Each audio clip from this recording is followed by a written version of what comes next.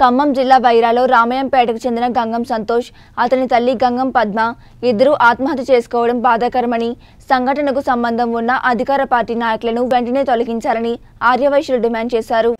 గంగా సంతోష్ గంగా పద్మ అవమానాలకి గురయ్యి వాళ్ళు ఆత్మహత్య చేసుకున్నారు. కొన్ని సంఘ విద్రోహ శక్తులు అని చెప్పన్నారు. కానీ సంఘ విద్రోహ శక్తుల్లో కూడా ఎక్కువ మంది నాకు తెలిసిన మ్యాటర్ వరకు పార్టీతో అనకూడదు కానీ అధికార టీఆర్ఎస్ పార్టీ వాళ్ళు ఉన్నారని తెలిసింది. మరి ఎంతటి అయినప్పటికీ కూడా ఖచ్చితంగా వాళ్ళని శిక్షించాలా? ఎందుకంటే మనం అడవిలో లేవండి ఇక్కడ సమా సభ్య సమాజంలో ఒక మనుషుల్ని రోజు రేత్రి పౌలు హింసించడం అనేది చాలా బాధాకరమైన విషయం. వాళ్ళు ఒక్కడే కాదు ఈ విధంగా చూసుకున్నట్లయితే స్టేట్లో చాలా చోట్ల ఒక కమ్యూనిటీ మీద ముఖ్యంగా ఆదివాసుల మీద వాళ్ళు కొంచెం తేలిక స్వభావం గల వాళ్ళు వ్యాపారస్తులు కాబట్టి భయస్తున్న ఉద్దేశంతో కావాలని కొంతమంది వాంటెడ్ చేస్తూ ఉన్నారు కానీ భయపడాల్సిన అవసరం లేదండి.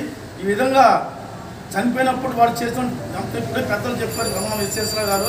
ఎంతటి వారైనా ఏ పార్టీలను ఖచ్చితంగా వారిని తగిన శిక్ష చేసినప్పుడే మిగతా వాళ్ళకి అది భయంగా ఉంటుంది ఆ శిక్ష అంత ఇది ఉండాలంటే ఇంకొకరు తప్పు చేయడానికి కూడా భయపడేంత విధంగా ఉండాలా? అంతేకాకుండా ఇటీవల సూర్యాపేటలో నేను ఈ సోషల్ మీడియా చూశాను.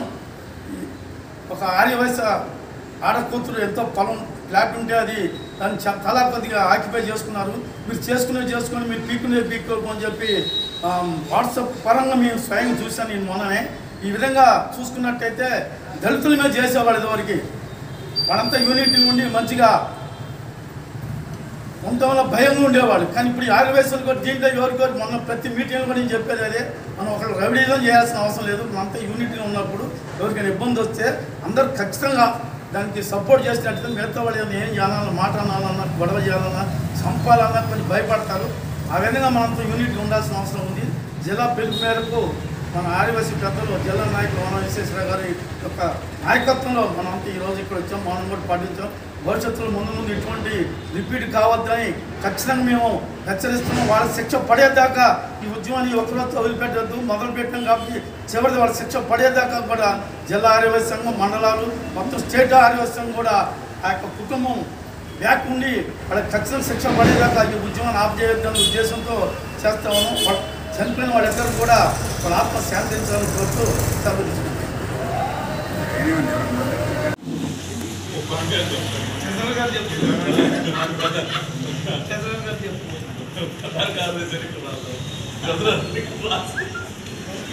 పైన ఆర్యవైశ్య మండల సమితి ఆధ్వర్యంలో ఈరోజు మెదక్ జిల్లా రామాయణ రామాయణ- రామాయణపేట మండలంలో అయినటువంటి గంగా సంతోష్ గంగా పద్మ వారి యొక్క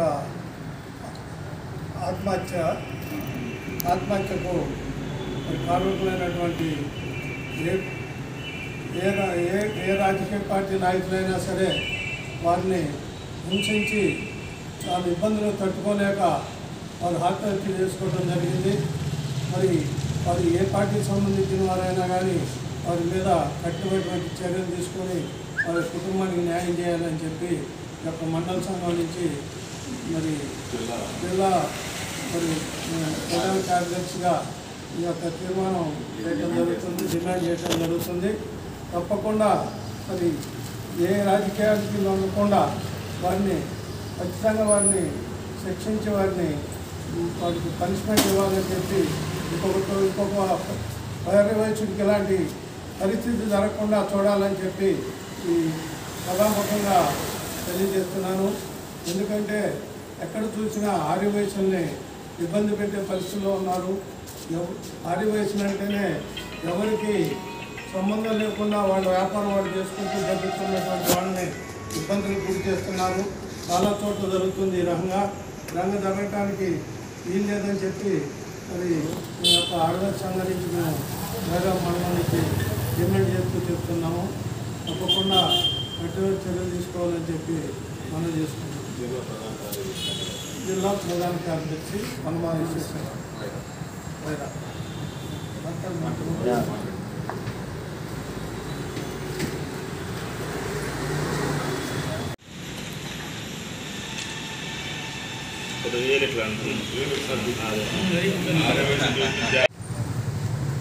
ఈ నెల పదహారవ తారీఖు మెదక్ జిల్లా రామాయణపేట చెందినటువంటి గంగా పద్మ గంగా సంతోష్ అనేటువంటి తల్లి కొడుకుల్ని కొంతమంది సంఘ విద్రోహ శక్తులు రాజకీయ పార్టీలకి చెందినవారు వేధింపులకు పాల్పడటం వల్ల వాళ్ళు ఆత్మహత్యకు పాల్పడ్డారు. ఈ సంఘటనని మా ఆర్యవైశ్య సంఘాల తరఫున తీవ్రంగా ఖండిస్తున్నాం. ఈ రోజు వరకు వారం జరిగినా కూడా ఎటువంటి చర్యలు కానీ ఎవరిని అరెస్ట్ చేయడం కానీ జరగలేదు. ఇది చాలా బాధాకరమైన విషయం. ఏ స్థాయిలో ఉన్న వ్యక్తులైనా కానీ చట్టానికి అతిథులు గారు వాళ్ళందరినీ కూడా ఖచ్చితంగా మెదక్ జిల్లా ఎస్పీ గారికి విజ్ఞప్తి చేస్తున్నాం.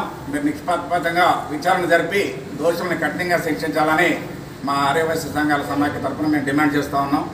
దయచేసి ఇలాంటి సంఘ విద్రోహ శక్తుల్ని ప్రోత్సహించొద్దండి ఎవరు కూడా. ఏ రాజకీయ పార్టీ కూడా మద్దతు తెలపొద్దని చెప్పి మేము మనవి చేసుకుంటా ఉన్నాం. సంతోష్ వెంటనే దోషులు ఎంతటి వారైనా శిక్షించాలి. దోషులు ఎంత శిక్షించాలి?